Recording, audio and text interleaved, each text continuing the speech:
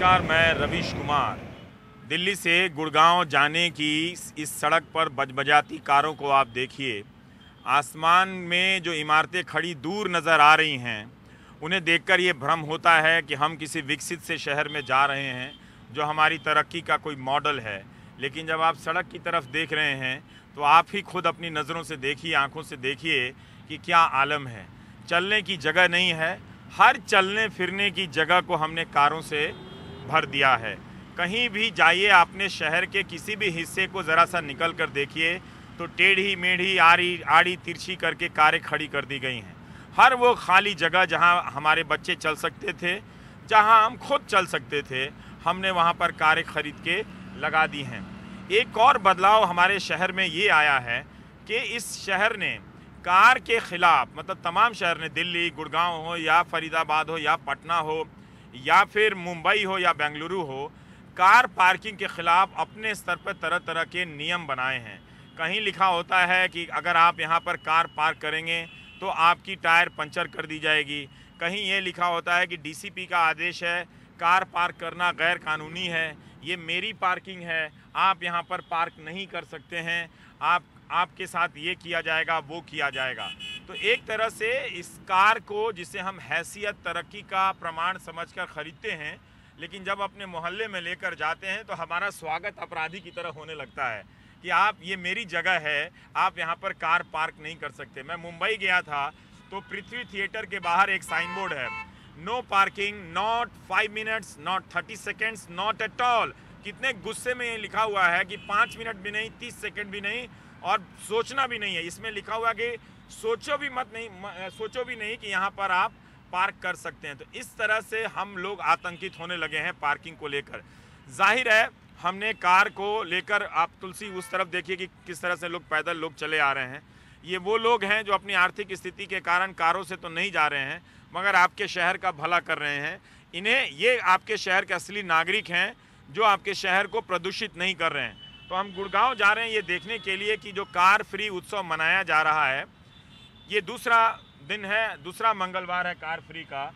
उसका क्या नतीजा है? सड़क पे जो अराजकता हमने कारों से पैदा की है, वो ये उम्मीद नहीं रखनी चाहिए कि दो दिन में उसमें सुधार आ जाएगा। लेकिन कुछ ना कुछ तो सुधार आया ही होगा। कोई ना कोई तो ऐसा होगा जो आज के दिन अपनी कार को छोड़ा होगा। हम इतनी जल्दी सुधरने वाले लोग नहीं हैं। हम चाहते हैं कि भगत सिंह दूसरे के घर में पैदा हो जाए। हम उन्हीं गाड़ियों को लेकर जाएँगे। गलत तरीके से पार्किंग करेंगे और चाहेंगे कि कोई आकर इस देश को सुधार भी दे। तो हम वो लोग हैं तो एक तरह से हम गुड़गांव जा रहे हैं। इनकी इस जगह की इमारतों को देखिए तो आपको लगेगा कि हम कहाँ आ गए हैं। ये कोई ऊपर से तो सिंगापुर दिखता है, नीचे अगर ज़मीन पे देखिए तो कारों का जंगल दिखता है। तो ये वो शहर है जिसे हमने अपने हाथों से बनाया है, जिसकी आबो हवा इतनी ख़राब हो चुकी है कि अब सांस लेने से लोग यहाँ मर रहे हैं।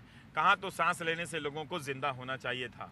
मौत हो रही है लोगों की, जो गाड़ियों के प्रदूषण से जो कण निकल रहे हैं, सूक्ष्म कण, वो जो फेफड़े में पहुँच रहे हैं तो हमारे फेफड़े को ध्वस्त कर दे रहे हैं, कैंसर पैदा कर दे रहे हैं तरह तरह की बीमारियाँ, और हम शौक से मर रहे हैं। लेकिन क्या ऐसा है कि हम इसके बदलाव के लिए कुछ कर नहीं पा रहे हैं? ऐसा क्यों है कि इस ट्रैफ़िक जाम को लेकर सबने स्वीकार कर लिया है? और सब दो दो घंटा तीन तीन घंटा पर घंटा तक वही एफएम चैनलों पर बकवास सुन रहे हैं कान फट जा रहे हैं उनके। अब तो नेताओं के बकवास विज्ञापन आने लगे हैं। लेकिन फिर भी लोग इस जाम से मुक्ति के लिए कोई रास्ता नहीं तलाश रहे हैं। ऐसा लगता है कि हमने कारों की गुलामी स्वीकार कर ली है। तो क्या कार फ्री डे कोई नया समाधान हो सकता है जो उस तरफ़ ले जाए, जहाँ हम पब्लिक ट्रांसपोर्ट के इस्तेमाल की संस्कृति को अपनाना शुरू कर दें? तो प्राइम टाइम में मैं अपनी कार से कार फ्री डे डे के इस असर का आगाज़ करता हूँ।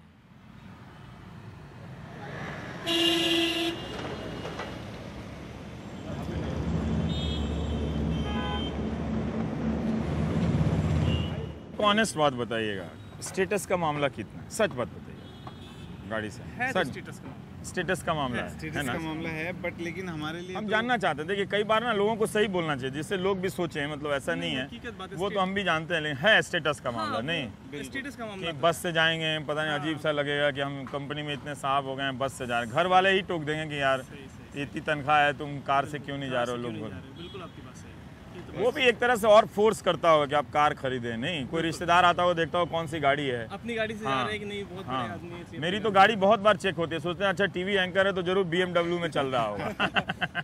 और फिर जब बी करके। हाँ आप सरप्राइज़ हो गए मुझे इस गाड़ी में देखे वैसे ये दफ्तर की गाड़ी है। लेकिन फिर भी लोग अभी किसी लड़के ने शिकायत की कि बड़ी हैरान हैरान हूँ कि उनके पास इस मॉडल की कार है।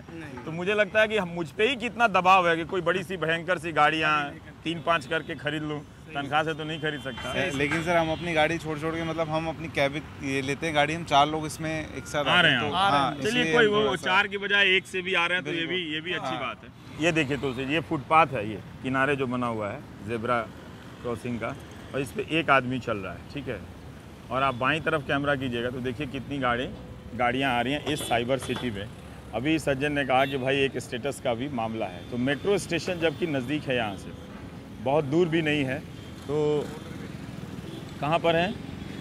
आप बाहर निकलोगे हाँ। पे जो बिल्डिंग है ना सिक्स टाइप की बनी हुई है हाँ। वही गेटवे की। आप भी मेट्रो से आते हैं? हाँ मेट्रो से आपको पता है कार फ़ील्ड डे मनाते हैं इधर? कार नहीं। फ़ील्ड है नहीं पता। नहीं पता है। मेट्रो से हम भी नए नए शूट नहीं इतना तो अखबारों में छपा है टीवी में भी आया तब भी नहीं पता। नहीं। पता है। हाँ ये ये भी मैं सैंपल टेस्ट कर रहा हूँ कि अखबारों को लगता है लिख देने से या टीवी को लगता है सबको पता है लेकिन नहीं पता होगा। नहीं पता है किसी ने बताया भी नहीं है किसी ने बताया नहीं कार फ़ील्ड हम्म और मेट्रो जो है वो इतनी भीड़ वाली है हाँ। कुछ कहने की बात है आने में तो हालत खराब हो जाती है।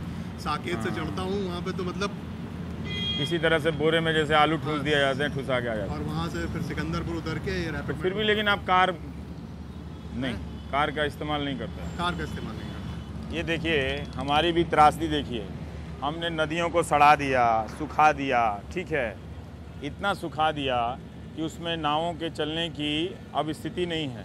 लेकिन नाव तो हम भूले नहीं हैं। तो देखिए, नाव की शक्ल में हम बिल्डिंग बना रहे हैं। जैसे लग रहा है कि वो आसमान में चल रहा है। तो कभी किसी ने इस बिल्डिंग को इस नज़र से नहीं देखा कि यही हम कर रहे हैं कि दरअसल हम प्रकृति की सारी चीज़ों को बर्बाद कर रहे हैं और उसके मॉडल का कोई इमारत बना दे रहे हैं। तो पहाड़, नदियाँ, कोई बिल्डिंग इसी तरह की बन जाएँगी जैसे नदियाँ हों और लोग छत के ऊपर स्विमिंग पूल बना देते हैं। और शीशे वाला स्विमिंग पूल मैंने किसी अखबार में देखा था। और बड़ी वाहवाही हो रही थी। तो नीचे जहाँ ज़मीन पे पानी है उसे सुखा दीजिए ख़राब कर दीजिए। तो ये भी है तरह तरह की बिल्डिंग है। नमस्कार नमस्कार। कहाँ है? देखिए कार तो लोग छोड़ ही नहीं रहा चलान कीजिएगा तब भी नहीं छोड़ेगा। कितना चलान करेंगे आप? पार्किंग में थे। हैं? टीवी पे देखते थे आज सर सेंड तक देख लिया आपको। सामने सामने फेस टू फेस बड़ी खुशी हुई सर हमें। थैंक यू सर बहुत खुशी हुई सर। थैंक यू आप लोगों का काम ज़्यादा मुश्किल है। सर बिना छुट्टी के और दिन में धूप में बारिश में आप लोग काम करते हैं। बहुत बड़ा है। कम हो रहा है कार फ्री डे का कुछ असर हो रहा है? हाँ सर। होना चाहिए। साइकिल रैली हो रही है यहाँ पे? अच्छा हम उसी के लिए जा रहे हैं। ठीक है।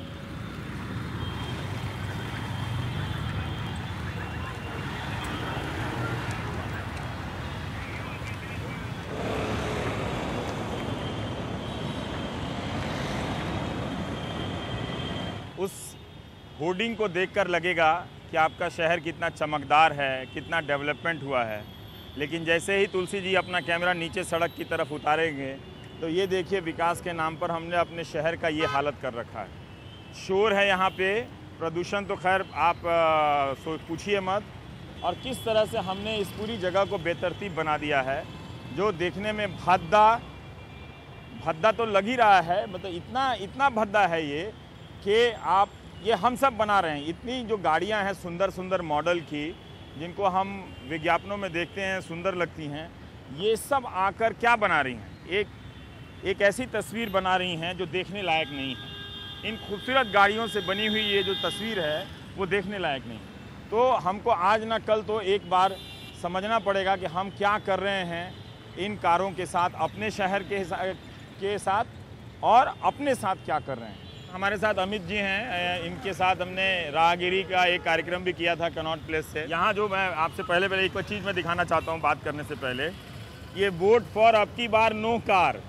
तो ये कार फ्री डे का एक जो नारा है, ये अब की बार चल गया है, क्योंकि अब जिसे भी देखे वही अब की बार मेरी सरकार, अब की बार तेरी सरकार मना रहा है।